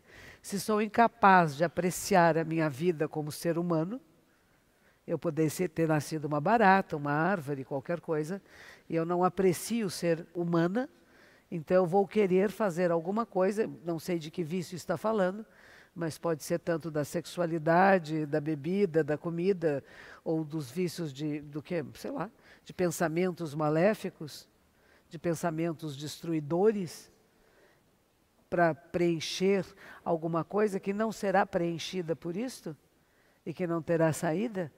Alguma, algumas pessoas que vão para o crack, né, para as drogas. Eu estou procurando alguma coisa que me acalme alguma coisa que me tranquilize, porque a vida não está bem, eu não sei, não sou capaz de entendê-la. Existem caminhos por aí. Existem caminhos. Mas a pessoa tem que fazer escolha. Existe, eu, eu acredito que numa escolha, que eu passei também por várias turbulências da minha vida, e eu encontrei um caminho muito simples, que é de respiração consciente, de silêncio, de meditar, e que com isso você encontra o sentido ou os sentidos que você pode dar à sua vida. E não precisa de nenhum vício, no sentido do que estamos falando de vício, que é a ausência do bem, a ausência da sabedoria, a ausência da humildade. É o contrário, quando tudo isso chega, a vida fica mais leve. Mas é bom lembrar que tudo é um grande vazio. e que não... e que a mente, ela está sempre vazia, porque ela não tem nada fixo nem nada permanente. É uma maravilha isto. É uma maravilha quando você percebe que não há nada fixo nem nada permanente. É vazio de uma autoexistência substancial separada. Não tem nada separado, está tudo junto aqui. E a gente junto pode modificar tudo. Tudo começando com a sua maneira de ver a realidade. Por isso que Ariano Suassuna, o gênio, dizia: ao redor do buraco tudo é beira. que maravilha! Olha, deve ser o oco que você fala. o... o oco existencial. É. Olha que coisa boa. Eu me lembro, né, quando você levanta muito bem né, essa relação do preenchimento de um vazio que só o é também a partir de algumas escolhas. É. E nós não estamos falando aqui, quando você mencionou o crack, do vício que se torna algo incontrolável. Sim.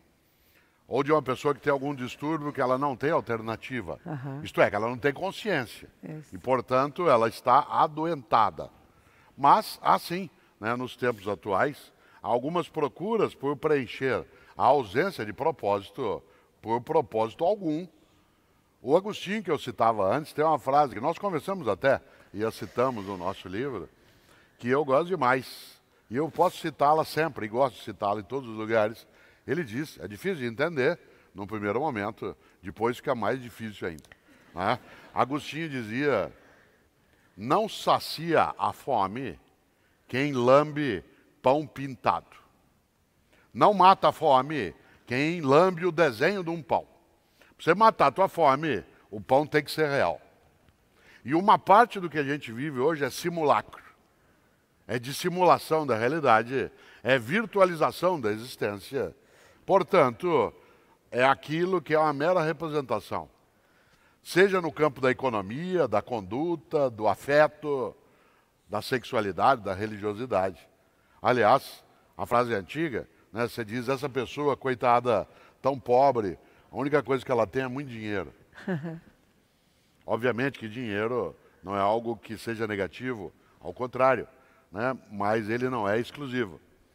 E nesse sentido, a capacidade de bens está muito ligada a algo que um grande ateu do Rio de Janeiro, chamado Milor Fernandes, que faleceu em 2012, um homem que, segundo alguns, inventou o frescobol. Olha só, Claro que aqui quem na praia, vivendo em Santos, já jogou frescobol, sabe o quanto que ele é um jogo que quase que simboliza a vida. O homem mais inteligente que eu vi na área de teologia e filosofia juntos no Brasil foi Rubem Alves. Uhum. Uma pessoa que ensinou na Universidade de Campinas, faleceu na cidade de Campinas, um estupendo educador, teólogo, filósofo, presbiteriano na origem. Ele vai mencionar o frescobol, e depois eu cito a fase do Milor, ele menciona o frescobol dizendo que ele quase representa a vida. Porque no frescobol, quem aqui já jogou sabe, a intenção é você bater na bola do melhor jeito para que a outra pessoa possa recebê-la do melhor jeito. Isto é, ao contrário de uma partida de tênis, ou de uma partida de tênis de mesa, ou de ping-pong, em que você joga do pior jeito para que outro se estrepe, para não usar um termo técnico. em que você busca a tua habilidade para que o outro caia, se desabe, se esguele no canto da quadra ou da mesa, faça ele morder o pó.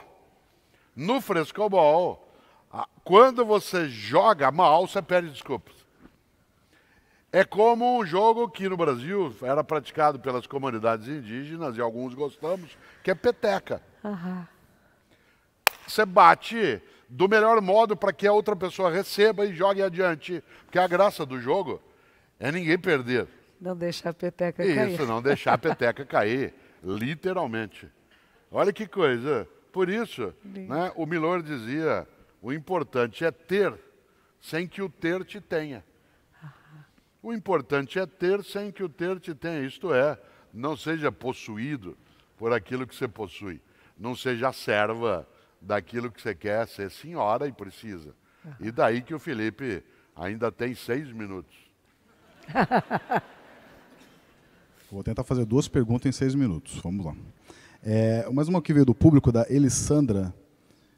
Pergunta a vocês qual a maior dificuldade em manter nosso anjo em evidência perante nosso demônio? Qual o maior empecilho em ser bom antes de ser mal? Eu lembrei, enquanto o professor Cortella falava de Deus e o diabo conversando, que no budismo temos coisas semelhantes também. Diz que Buda um dia estava na sua cabana e Mara, Mara é, é, o grande demônio, a grande tentação, aquele que quando Buda estava no seu processo de meditação, querendo ascender a níveis superiores de consciência, vai provocá-lo com tudo aquilo que o ser humano pode ser provocado.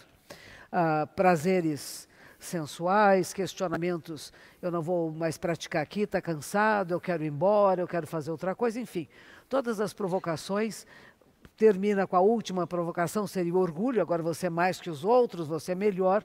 E, e Buda, que não estava preocupado com isso, põe a mão na terra, da humildade de, e dizendo, não, eu sou terra e a terra eu volto, seria nada disso, eu não sou melhor nem pior do que ninguém. Ele tem então sua experiência mística, eu, a grande terra e todos os seres juntos nos tornamos o caminho. Então isso faz um Buda, aquele que percebe que está ligado e conectado a tudo. E agora eu já esqueci qual era a pergunta. Como é que você faz? Como é que você faz para amarrar o teu demônio? Amarrar e o demônio. com que o teu anjo Então, esse demônio que é Mara, um dia vem bater na cabaninha de Buda. Buda está numa cabaninha no meio da floresta e o atendente de Buda, que é a está ali na porta e Mara vem e começa, eu quero falar com Buda. Não, não vai incomodar o mestre, o mestre está ocupado. Não, mas eu quero falar com ele. Não vai, não vai, não vai. E Buda ouve aquela conversa ali fora, sai para fora e diz, Ananda, o que está acontecendo? Não, mestre, Mara quer vir atormentar o senhor. Eu disse que não pode, o senhor não pode ser atormentado agora. Disse, Mara, meu amigo, entre aqui. E os dois começam a conversar. E Ananda, do lado de fora, fica muito preocupado. Porque a Mara diz assim, você não sabe o que estão fazendo. Tudo que, que coisas que falam que sou eu que sou responsável. Eu não sou responsável por essas coisas que estão dizendo de mim. E Buda diz: eu igualmente. Eles falam que eu que fiz isso, fiz aquilo, eu não fiz nada disto. Ou seja, estes personagens que representam a sabedoria e a ignorância, o bem e o mal, a luz e a sombra, eles são parceiros. Eles não temem um ao outro, porque não há nada a temer há uma interdependência, porque aquela provocação que vem, daquilo que vem para ver como que você responde a isto. Eu gosto muito dos beneditinos, quando eles dizem que aquele que bate a sua porta é Jesus, e ele vem disfarçadinho. Ele não vem bonitinho, que nem a gente vê nas, igre nas igrejas, nas imagens criadas, né? Ele vem como aquela pessoa que parece que vai te incomodar, que te provoca, que fala coisas impróprias para você ficar com raiva. Como que você responde a isso? Então, tudo que você possa encontrar no mundo, tudo aquilo que possa passar por você, dentro da visão budista, são seres iluminados, disfarçados, que vêm te apontar o caminho. E aí a escolha é sua. A escolha é sua. João Calvino, um dos maiores pensadores da teologia reformada no Ocidente, alguém que levou aquilo que Lutero fez né, adiante, ele dizia algo que é difícil de lidar, né, monge? Ele dizia que o diabo também faz os seus milagres. Uhum. E alguns dizem que o maior milagre do diabo é fingir que não existe. Uhum. E o maior milagre do diabo é fazer com que as pessoas acreditem que ele não existe. Uhum. Eu não creio num diabo entidade que está fora de cada um de nós. Mas eu creio na possibilidade de identificar em mim, Cortella, coisas que podem ser diabólicas. Uhum. Elas não têm de sê-lo, mas elas podem sê-lo. Por isso, para pegar essa última questão que o Felipe levantou, a ideia de que como é que eu faço com que meu anjo emerja né, e o meu diabo sucumba? Eu preciso ter clareza que ele existe em mim. Não como uma entidade externa, na qual eu estou possuído, ou como diz alguns, possuído, mas como algo que é uma possibilidade humana. E essa ideia da humanidade, que pode ser aquilo que é destrutivo, e aquilo que é edificante é a maior marca da nossa humanidade. E a maior beleza também da nossa existência. Ah. Afinal, se robóticos fôssemos, vocês sabem que a palavra robô vem da, vem da do sérvio, né, que significa escravo, robota. Se nós fôssemos escravos do destino, escravos da fatalidade, e não pudéssemos escolher os nossos caminhos, seria um horror. Por isso, há uma maneira de atar meus demônios. É entender que eles existem, que eles estão em mim, que eles são um produto meu. E, portanto, sou eu que tenho que estar no comando. Tal como o Felipe está agora, para fechar. É, obrigado. É, a gente não tem tempo para mais perguntas, mas eu tenho, eu queria fazer na verdade um pedido que veio aqui do público, né, alguém que não se identificou mas é um pedido para a monja, é, que hoje é o dia dos professores, e qual seria uma mensagem de ânimo e paz que a monja gostaria de deixar para todos os professores nessa data? É a partir dos professores que nós podemos aprender alguma coisa. Hoje me mandaram umas mensagens, uma delas muito bonita, que dizia assim: Só quem sentou para ouvir, para entender e aprender, um dia pode se levantar para ensinar. Essa é uma expressão muito boa. Outra, que é japonesa, que diz que só você só pode se tornar um imperador se você teve bons professores. Então depende muito a educação, e eu acredito nisso, é a grande transformação da realidade. E dependemos sim dos nossos professores. Algumas tradições budistas, elas invocam antes de invocar as três joias que é Buda, Dharma e Sangha, invoca o guru. O guru é o mestre, o professor, aquele que traz a mensagem. A mensagem que você utiliza ou não, que você se torna ou não, mas alguém que expõe para você as possibilidades para que você faça as escolhas. Então eu espero que todos aqueles que se dedicam à vida de poder provocar nas pessoas liberdade, pensar, refletir, querer desenvolver-se, pesquisar, é uma benção. Eu não posso falar muito porque, olha, meus avós, tanto meu avô paterno e materno eram professores. Minha mãe se tornou uma pedagoga também. A minha família toda é cercada de primos e primas para aquela coisa que meu pai dizia: não vá ser professora que ninguém respeita. E eu lembro que quando meu avô andava na rua, todos paravam, que o conheciam e diziam: aí vai o professor. E eu quero que continue sendo assim. Aí vai o professor Aí vai a professora. E o que eu sinto um pouco, e que me lembraram outro dia, é que no ensino básico, para as criancinhas, quase não há homens. Quase a educação básica, quer seja pré-escola, jardim de infância, creches, quase todas na mão apenas das mulheres. Como se coubesse apenas às mulheres o cuidado o que não é verdade.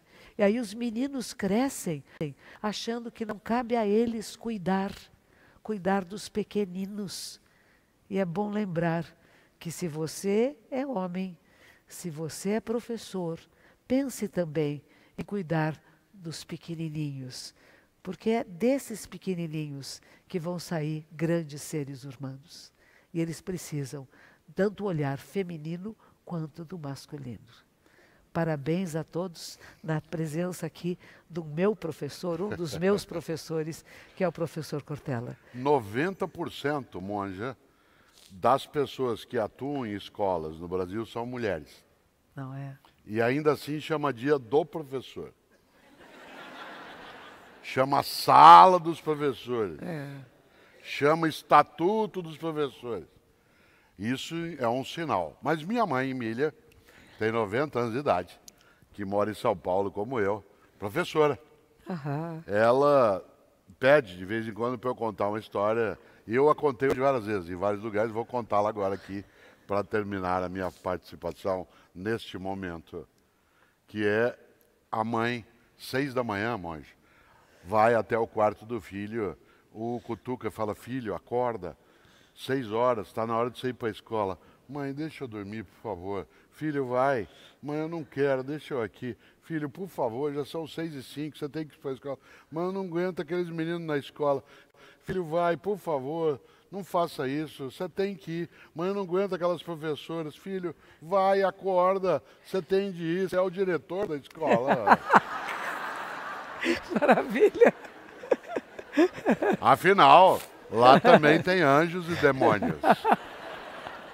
Que maravilha. Maravilhoso.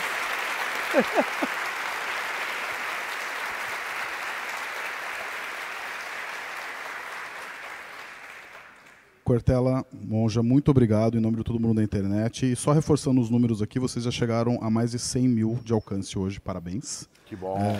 Muito bem.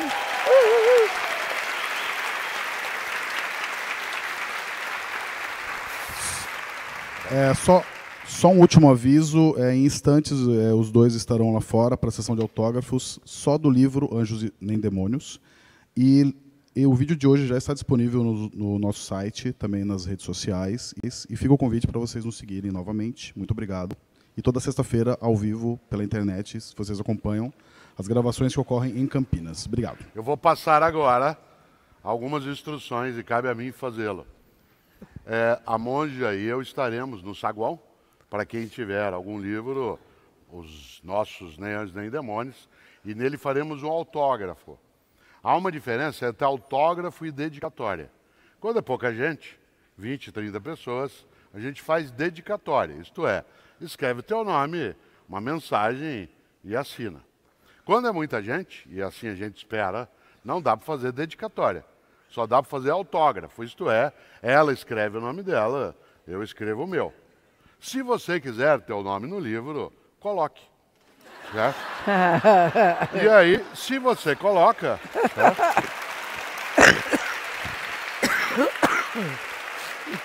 Se você coloca e nós colocamos, todo mundo fica feliz. Todos felizes. A segunda orientação é séria. Né? A monja está gripada um pouquinho né? e a gente pede às pessoas, por favor, sem que isso seja considerado ofensivo, que não a abracem, certo? Porque isso significa algo desnecessário. E segundo, que é importante, não a beijem. Você pode ter uma reverência como pode ter por qualquer um. E aquela que é a mais das né, marcantes, é, não passe a mão na cabeça dela. É, buscando abençoar-se. Certo? Não é uma pia de água benta. Certo? Vamos lá? Muito obrigada. Já já estaremos no salão. Muito bom. Muito bom, né? Eles tiraram a bengala dele. Ó, aqui, ó. Tá? Obrigado. Pronto. Vamos.